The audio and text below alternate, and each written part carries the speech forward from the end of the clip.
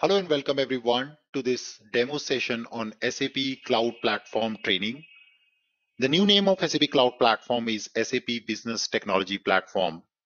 In this series of videos, we are discussing what is SAP Cloud Foundry and an introduction to SAP Cloud Application Programming Model. For the detailed training on SAP Cloud Platform and Cloud Foundry, feel free to subscribe our training on anubhavtrainings.com. So our today's uh, session on this mini session is about what is SAP Cloud Foundry. So most of the sessions we will go ahead at whiteboard presentation rather than typical slide based presentation. So let's get started and discuss the same. So what is SAP Cloud Foundry? Many of you have approached me asking introduction of what is Cloud Foundry and why it is getting so much popularity and why is most of the companies are slowly developing their applications on cloud platform or cloud foundry so let's understand what exactly SAP Cloud Foundry or Cloud Foundry is all about in general. So just think of a developer.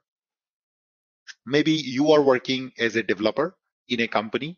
And when you want to start developing an application, you would basically use some programming language. Now, this programming language, something which you would have learned in the past, uh, maybe you would have learned in the academics or you would have learned in industry. Now, there's so many programming languages which these days are very popular, like, for example, Java or ABAP, or for example, Node.js. Yeah. Now, some of these programming languages you already have experience into. Now, if you want to start developing any applications, the very first and fundamental thing you would need is a hardware. Now, a hardware is nothing but a computer. And for the modern programming languages, sometimes you would need a very good computer with good amount of memory and good size of hard disk to speed up your processing. At the same time, you would also need on top of this hardware, the basic operating system. Now, perhaps you would like to develop on one operating system and wanted to test your code in different different operating systems. Then next you would need is the basic softwares, including networking. Yeah, so all of these you would need as a bare minimum requirement before you start development. Then on top of that, you would start first thing as a database. So you would need a database to keep all the data. Then on top, you would need the runtime support. Runtime includes different programming runtime. For example, you cannot go and run a C program in Notepad file. You need C compiler. That's the runtime. Similarly, for Java, the runtime is, is uh, called JRE, Java Runtime Environment. For ABAP, it is SAP NetWeaver platform. And then for Node.js, it is Google's V8 engine. So these are all the different runtimes you would need for different programming languages. Then on top, you would need additional programming services like a queue mechanism. You would need different tools to develop applications. So all of that, you would need it to install in your system locally to be able to start development. Then you would also need some backing services, backing services like different services which will help you to improve the developer efficiency, right? You would need different tools to basically do a continuous deployment of your applications to the target system. And also a lot of lint checks and different checks and syntax check tools. Also source code organization, you would need different tools there. So these are all the development infrastructure you would typically need. And finally, after arranging all of these, you would start developing. And that's where you will have a, a data models, yes, and then you will have your application and services. So you will develop services these days for web applications, and then finally you will have your entire application UI. So all of this is the main part which a developer directly mainly work on, and rest all the things are kind of one-time setup or a kind of setup which you want to do when you want to test on different different environments. Now, what if we say that all of this you can rent out on internet? Yes, you don't need a to buy probably a machine with one gigs of RAM by paying like 600 or 800 dollars of RAM price. Maybe you can go to a, a, a company, a vendor, and say, hey, I want to rent out all of these from uh, maybe like a dollar or so per day. Yeah. So I don't have an upfront investment to be done.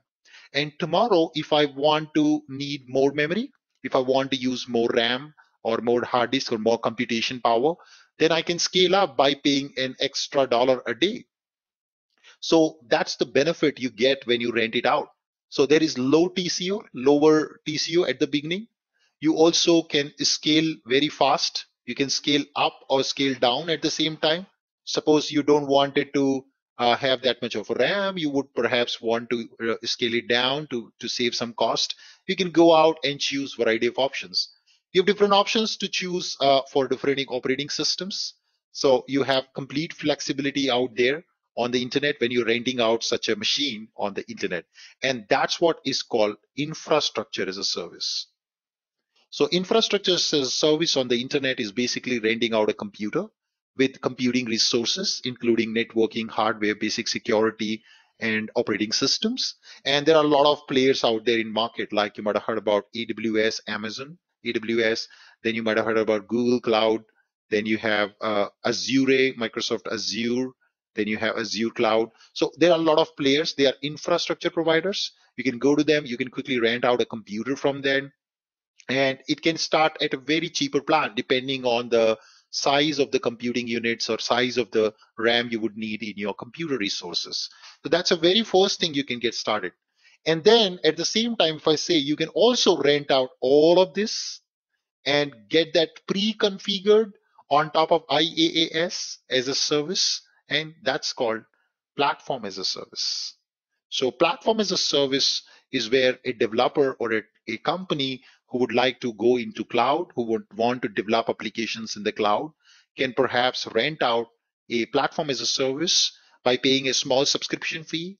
On top of it, they can choose which region, which infrastructure provider they want to go with. That's a flexibility they get it. And then they can get everything up and running. And they can also scale up and scale down. They can choose from different services. For example, on database side, I want to use PostgreSQL or I want to use HANA database or perhaps I wanted to use runtime for Node.js only, and I want to use UI5.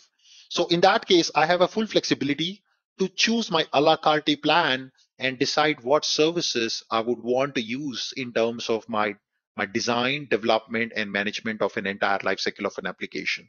So all of these, you get it out of the box with platform as a service. And that's where Pivotal have done a magic they've got a something called platform as a service standard implementation, which is known as Cloud Foundry. So Cloud Foundry is a pivotal product and it provides you a standard way of implementing a platform as a service.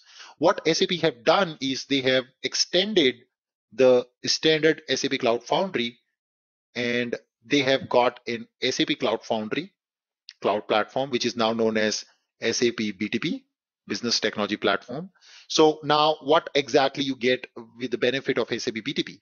SAP BTP in extension of Cloud Foundry, which is from Pivotal, and it allows you a platform as a service where companies can onboard their developers quickly and easily without spending too much of hardware or setup cost or without worrying about it.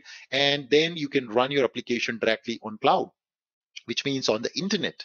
And the, the setup is pretty easy and you can you have variety of options of tools. You can do development using local tools or or, or in visual studio code.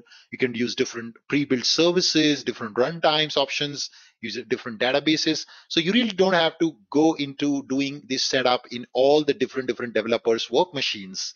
Their work machines can be a lightweight work machine with simple four gigabytes of ram but at the same time they can really build very big and powerful applications into this platform and deploy and manage fully on this platform. And hey, you get also scalability, elasticity options, and that's what called SAP Business Technology Platform with Cloud Foundry. Making sense?